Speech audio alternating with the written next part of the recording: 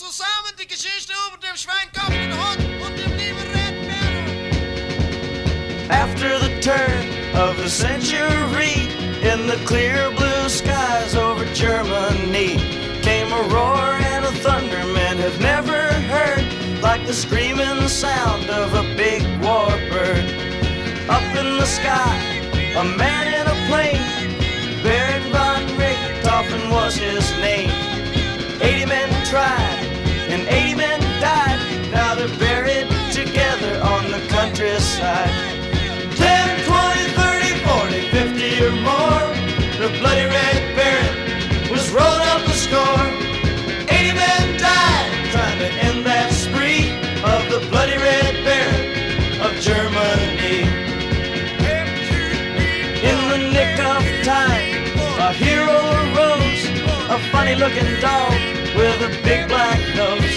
He flew into the sky to seek revenge, but the Baron shot him down. Curse is filed again. 10, 20, 30, 40, 50 or more. The bloody red Baron was rolling up the score.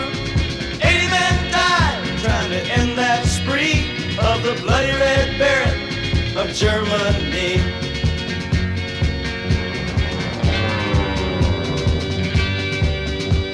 Now Snoopy had swore that he'd get that man, so he asked the great pumpkin for a new battle plan. He challenged the German to a real dog fight, while the Baron was laughing. He got him in his sight.